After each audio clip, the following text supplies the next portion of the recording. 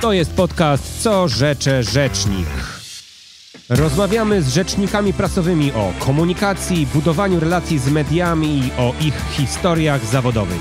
Zadajemy trudne pytania i słuchamy fascynujących odpowiedzi.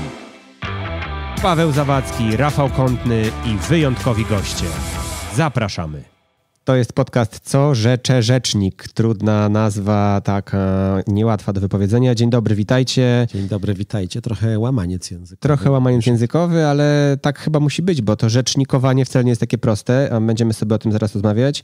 E, ze studia w Warszawie witają Was Rafał Kątny i Paweł Zawadzki. E, siedzimy, rozmawiamy, nagrywamy pierwszy odcinek naszego podcastu Rzecz o rzecznikach. Co rzecze rzecznik? Będziemy rozmawiać o tym, kim są rzecznicy, chcemy rozmawiać z rzecznikami prasowymi, chcemy rozmawiać o komunikacji. I ten pierwszy odcinek chcemy poświęcić temu, czemu w ogóle pomyśleliśmy o tym, że to może być dobry podcast, czemu w ogóle chcemy go nagrywać, jaki jest na niego pomysł i trochę Was zaprosić do tej podróży w głąb komunikacyjnych meandrów, często trudnych pracy rzecznika prasowego. Rafale, ty byłeś kiedyś rzecznikiem prasowym, pracujesz z komunikacją, pracujesz z ludźmi. Jaki jest Twój pomysł na dobry podcast o i z rzecznikami prasowymi? No właśnie, chcielibyśmy przede wszystkim przybliżyć postać rzeczników, bo mm, ten nasz pomysł polega na tym, żeby porozmawiać z rzecznikami, z praktykami, z ludźmi, którzy dzisiaj e, nie tylko na tym zarabiają pieniądze, ale mam poczucie, e, spełniają swoją pasję i swoją misję życiową, zawodową, ale też prywatną. E, I ja mam takie doświadczenie taką refleksję, że to jest trochę postać, która zawsze jest w cieniu i trochę jest niedoceniana w takim świecie zewnętrznym. Mało tego, historycznie w Polsce ma też nie najlepsze konotacje z czasów dawnych i bardzo dawnych. Myślę sobie o czasach cenzury i czasach, kiedy nie wszystkie informacje trafiały do mm, obiegu i do opinii publicznej, ale też dzisiaj znowu ten temat i ten problem trochę powraca w kontekście polaryzacji ogromnej, politycznej i społecznej. E, I myślę sobie, że w tym świecie szczególnie to jest ważne. E, dzisiaj rola dobrego rzecznika. Ja rzeczywiście mam swoje mm, doświadczenia zawodowe związane z byciem rzecznikiem e, i byciem po tamtej stronie. Mm, więc to dla mnie szczególnie ciekawe, kiedy będziemy mogli my zapytać rzeczników o to, E, jak to jest i też będę to mógł ja skonfrontować ze swoim doświadczeniem na ten temat. No właśnie, to jak tak rozmawiamy o rzecznikach, to y, ja bym może zaczął od tego, że to ja bym ciebie zapytał, jak wygląda według ciebie rzecznik idealny i czy taki rzecznik istnieje, a gdybyś go miał stworzyć albo o nim opowiedzieć, to kto by to był i jaka by to była postać? To jest bardzo dobre pytanie na początek e, i myślę sobie, że moja intuicja i taka fantazja na temat tego, jak powinien wyglądać rzecznik, e, jest bardzo ruchoma. To znaczy, dobry rzecznik, czyli osoba, która wypowiada się lub pełni funkcję publiczną w imieniu danej organizacji, firmy, przedsiębiorstwa, spółki, jakkolwiek sobie to nazwiemy, bo tych rzeczników jest dużo i są różni. E, taki rzecznik powinien być przede wszystkim bardzo elastyczny i powinien być takim trochę człowiekiem gumą, trochę człowiekiem chorągiewką, e, ale jednak tą chorągiewką od do, to znaczy wie, w którą stronę ten wiatr wieje i troszeczkę musi wiedzieć, co powiedzieć, co opowiedzieć, jak odpowiedzieć i o każdej porze dnia i nocy musi być gotowy do tego, żeby się skonfrontować z jakimś tematem i tytułem. Yy, ja oczywiście wyobrażam sobie, chociaż oczywiście zapytamy o to naszych gości, bo to oni będą mhm. nam mówić, kim jest i pewnie mam nadzieję, że wszyscy nam powiedzą, że są oni właśnie e, świetni, wspaniali. Natomiast ja uważam i gdyby to ode mnie zależało, czy gdybym ja miał zatrudniać, szkolić e, albo spotkać e, takiego idealnego rzecznika, to mam taką fantazję, że to jest człowiek na niepogodę i to jest człowiek, który w każdej chwili jest w stanie wybrnąć z trudnej sytuacji, jest w stanie pięknie opowiedzieć o dobrej sytuacji, jest w stanie być bardzo lojalny wobec organizacji, szefa, prezesa swojego działu i jest taką osobą, którą łatwo się lubi. Yy, bo wydaje mi się, że rzecznik to jest osoba, która nawet jeżeli przekazuje treści trudne, ważne, yy, niewygodne albo w jakiś sposób niesympatyczne, to mimo wszystko trzeba go lubić, bo muszę mieć do niego taki sentyment pozytywny. Ja tak o nim myślę, mhm. tak? E, I lubiłbym, żeby dobry rzecznik prasowy czy rzecznik jakiejś organizacji był osobą, z którą ja sympatyzuję, za którą trzymam kciuki, która jeżeli nawet mierzy się z jakimś kryzysem albo mierzy się z jakimś problemem, to ja jemu, czyli też tej jego organizacji dalej, po prostu kibicuję. Ja tak o tym No myślę. właśnie, tak jak o tym mówisz, to y, o tym lubieniu, bo y, ja się z gruntu zgadzam z tym wszystkim, co mówisz, y, ale jak mówisz o tym lubieniu, to y, w tym lubieniu dla mnie jest y, y, coś bardzo istotnego, co ja bym nazwał wzbudzaniem zaufania przez takiego rzecznika. Znaczy, że to jest tak, że jak dzisiaj ten rzecznik mówi o rzeczach niewygodnych czy trudnych, y, czy takich, o których nie chciałbym usłyszeć y, z perspektywy widza czy dziennikarza, mm, to ja mu muszę, czy powinienem mu wierzyć. Y, I to jest kwestia tego, że on powinien być y, mm, osobą właśnie po pierwsze wzbudzającą zaufanie. Czyli nawet To, nie, by, tak- nie, nie lubianą, ale nie wzbudzającą lubianą, tak. zaufanie. Znaczy ja go mogę, mogę nie, nie lubić w takim sensie ludzkim, e, czy na- z poziomu emocji, natomiast e, chciałbym, żeby to było tak, że rzecznik, który jak mówi świeci słońce, że świeci słońce, to ja nie, nie otwieram parasola Mhm, e, przeciwdeszczowego. Wiesz o co chodzi? Znaczy, że ja po prostu wierzę w to, co on, w to, co on mówi. I tu jest trochę coś, o czym ja bym bardzo chciał porozmawiać z rzecznikami, ale chciałbym, żebyśmy my się sekundę nad tym zatrzymali e, w kontekście tego, na ile rzecznik powinien być e, dobrym specjalistą e, w treściach, o których mówi, o które, które nam przekazuje. To jest, to jest pytanie do mnie, czy sam będziesz na nie Wiesz co, e, znaczy to, jest, to jest pytanie, na które bym pewnie, pewnie szukał odpowiedzi. Ja nie mam na nie jednoznacznej odpowiedzi. Natomiast zawsze się nad tym zastanawiałem z perspektywy e, praktyka i wykonywania tego zawodu. To, co było moim największym lękiem, to było to, czy ja jestem wystarczająco dobry merytorycznie w tym, żeby o różnych rzeczach mówić. Tak? E, Bo to jest bardzo istotne, żeby nie tylko umieć to sprzedać w kontekście dziennikarskim, w kontekście społecznym, e, z, takim poziomie, z takiego poziomu zaufania psychologicznego w relacji z e, odbiorcami, ale właśnie, żeby wiedzieć, o czym się mówi. No to moja intuicja jest taka, że nie jest to ważne. To znaczy, jeżeli masz dobre kompetencje miękkie, przemawiania, pisania tekstów, odpowiadania na pytania, takie erystyki, retoryki, to dzisiaj możesz być rzecznikiem prasowym grupy zbrojeniowej, jutro możesz być rzecznikiem y, telekomu, a pojutrze możesz być rzecznikiem e-commerce'u, wszystko jedno. Ja mam taką intuicję. Pewnie jest tak, że rzecznik, jak każdy, może się specjalizować albo może się wgłębiać w dany temat. I jak jesteś na takiej pozycji 10 lat, to wiesz dużo więcej o branży, czy o segmencie, czy o firmie, natomiast kompetencje z tobą zostają. I trochę ten projekt, w którym teraz jesteśmy, czyli ten podcast, ja mam taki cel, żeby zapytać tych rzeczników, czy to, że zmieniają branżę, zmienia ich kompetencje, czy to jest tak, że oni mogliby dzisiaj robić jedno, a pojutrze robić co innego, bo najważniejsze są jakieś, i odpowiemy sobie na to pytanie, kompetencje. I teraz jakie, tak?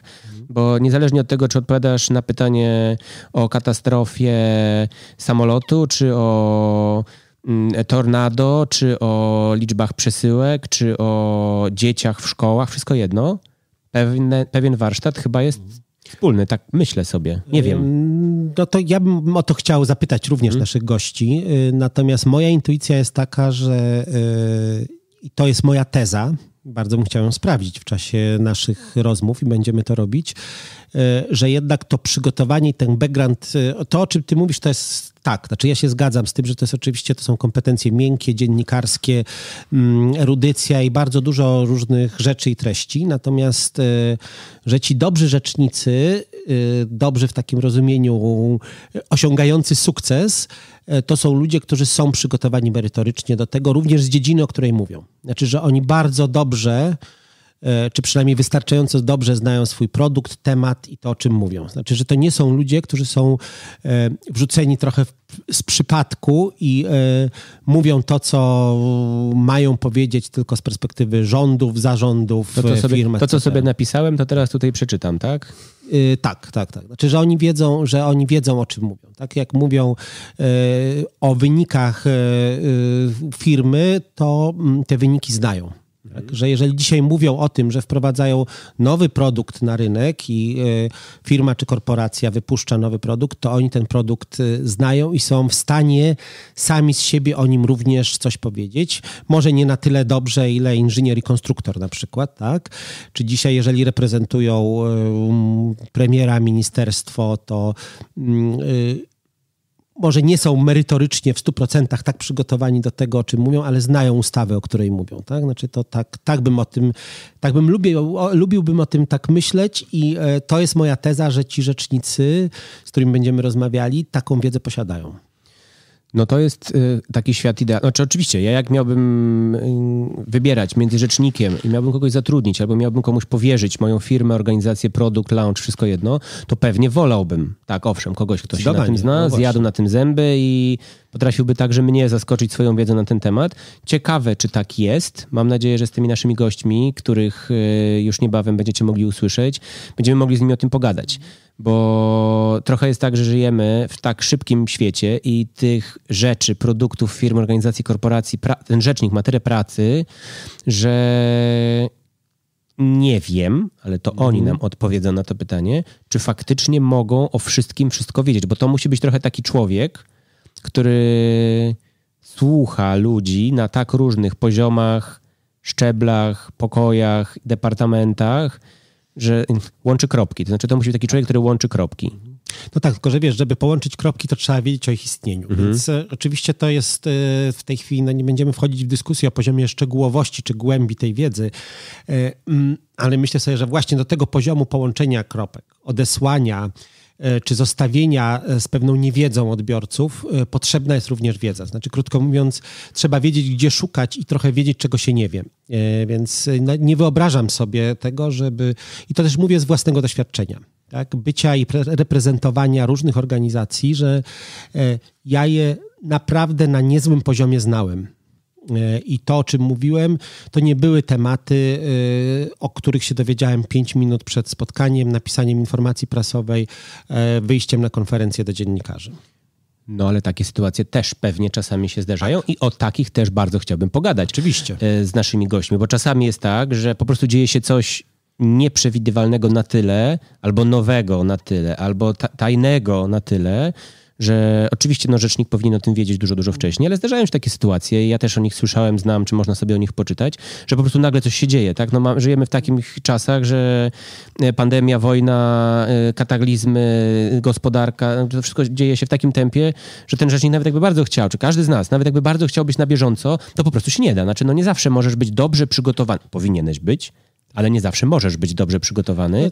I może takie pytanie do tych naszych rzeczników, to znaczy, jak można i jak się przygotowują do sytuacji e, takich nagłych. Mhm. Ad hocowych nieprzygotowania. Mhm. Znaczy jak są przygotowani tak. w sytuacjach nieprzygotowania. Tak? No nie, no na tym polega oczywiście współpraca z mediami, na tym polega świat mediów i, dzisiaj działanie, na tym polega informacja, że ta informacja, która jest świeża i nowa jest informacją, jest newsem, więc e, jakby siłą rzeczy e, oni są w wielu dziedzinach nieprzygotowani, po prostu nie mogą być do tego przygotowani, no tak jak mówisz. No, no to też pewnie mm, e, w czasie tych spotkań e, będziemy mogli porozmawiać z rzecznikami, którzy się zajmują różnymi branżami, różnymi dziedzinami. Pewnie specyfika konkretnej, konkretnej pracy, konkretnych organizacji czy instytucji trochę tę newsowość determinuje, tak? Znaczy u jednych jest ważniejsza, u innych nie. No to pytanie też... No i pewnie też będziemy wchodzić takie, ja bym bardzo chciał wejść w takie głębokie tematy o tym, zapytać ich o to, jak to, co mówią, wpływa na dużo więcej niż to, czym się zajmują. Przykład, rzecznicy na przykład spółek giełdowych albo spółek Skarbu Państwa, no każde zdanie, każde słowo jest dosłownie na wagę złota. Tak. E, I jedno złe zdanie albo jedno dobre zdanie e, powiedziane w kontekście X albo w kontekście Y albo bez kontekstu może spowodować, że firma, spółka, organizacja po prostu będzie miała bardzo duży problem, wyzwanie, albo będzie musiała się z tym zmierzyć. Więc wydaje mi się, że to też jest bardzo ważne. Bardzo. Yy, I to też musi być ciężka robota, myśląc, bo cały czas musisz myśleć o tym, że każde twoje zdanie może być wykorzystane bez kontekstu w dowolnej sytuacji na twoją korzyść lub nie. To takie ciekawe w kontekście bardzo, bardzo. Ty komunikacji. Mówisz, no. Ty mówisz o komunikacji w takim kontekście tutaj ekonomicznym czy finansowym. No, mm, pamiętajmy, znowu ja sięgam do swoich doświadczeń, e, kiedy mamy tematy, które są wrażliwe społecznie. Na przykład. Kiedy mhm. mówimy o tym. E, e, I tu na każde słowo jest na wagę złota z perspektywy konkretnego człowieka, konkretnej jednostki, czy dziecka na przykład, mhm. tak? czy mhm. tematów, które są bardzo wrażliwe tak? i dotyczą konkretnych osób.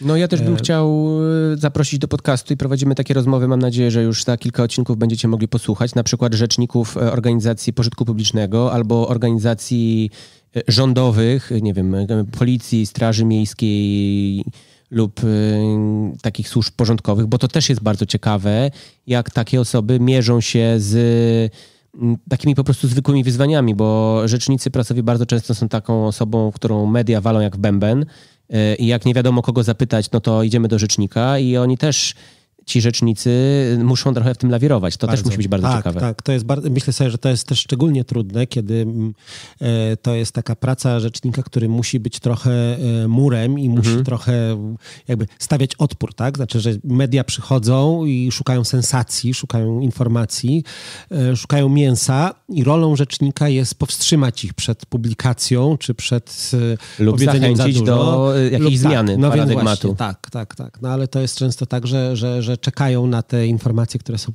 e, bardzo konkretne, dotyczą konkretnych ludzi, a e, no, one nie mogą zostać ujawnione z różnego powodu. No to, to są na przykład też kwestie, bardzo bym chciał, żebyśmy porozmawiali właśnie z rzecznikami, którzy zajmują się tematami e, policyjnymi na przykład. Policyjnymi, politycznymi, politycznymi tak. trudnymi, polaryzacyjnymi. Myślę sobie, że tych rzeczników jest tak dużo. E, wysłaliśmy bardzo dużo zapytań, bardzo dużo ludzi jest zainteresowanych projektem, więc e, ta lista odcinków już nam się tworzy. E, ja już sam też nie mogę się tych rozmów doczekać. Rafale, bardzo, bardzo czekam, czekam na te spotkania. E, jesteśmy na nie gotowi, jesteśmy pełni e, dobrej energii, mnóstwa pytań, które chcemy zadać. Bardzo bym chciał pokazać również w tych naszych rozmowach, a może przede wszystkim konkretnych ludzi i konkretnych rzeczników, bo to są niesamowite historie i przede wszystkim niesamowici ludzie. To jest jednym z moich celów. Ja mam taki dodatkowy cel, to znaczy chciałbym, żeby nasi goście pokazali nam swój warsztat. Warsztat dziennikarski, warsztat komunikacyjny, warsztat zarządzania emocjami swoimi, ale też ludzi, z którymi się komunikują. Więc y, mam taką nadzieję, że ten podcast będzie takim miejscem, w którym po pierwsze będzie można, tak jak powiedziałeś, poznać ciekawych ludzi, poznać ciekawe case'y i po prostu przyjrzeć się tym historiom ludzi ich organizacji, ich pracy, oraz po drugiej stronie, że osoby, które będą, czy wy, słuchacze, będziecie tego słuchać i będziecie mogli wyciągnąć swoje własne wnioski do swojej własnej pracy komunikacyjnej, do pracy w myśleniu o relacjach z mediami, relacjach z, ze światem zewnętrznym tak naprawdę, ale także ze światem wewnętrznym, bo czasami organizacje mają dość dużą potrzebę komunikowania się do wewnątrz i to również robi czasami rzecznik, e, bo może być rzecznik e, do środka, tak? Czyli tak. są rzecznicy prasowi na zewnątrz, ale jest też rzecznik, mm, no tutaj trochę się pewnie ocieramy o takie rzeczy, które w Polsce są mało popularne, czyli te związki zawodowe i te takie historie tych unions, tak? Mhm. Amerykańskich, ale tacy ludzie też funkcjonują i też muszą się z pracownikami, grupami pracowników, światem w jakiś sposób komunikować, więc Cóż, jak to mówią Amerykanie, stay tuned. Będziemy te rozmowy emitować, publikować i komunikować się z wami, słuchaczami. Mam nadzieję dość regularnie. A tymczasem co? Śledźcie social media, śledźcie platformy podcastowe i do usłyszenia. Do usłyszenia, bardzo dziękujemy. Y, jesteśmy. To był podcast Co Rzecze Rzecznik. Do usłyszenia w kolejnych odcinkach.